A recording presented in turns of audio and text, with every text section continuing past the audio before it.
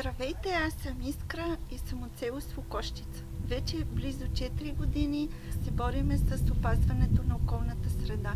Успяхме в нашето село да организираме нещата така, че да събираме отпадъците си разделно.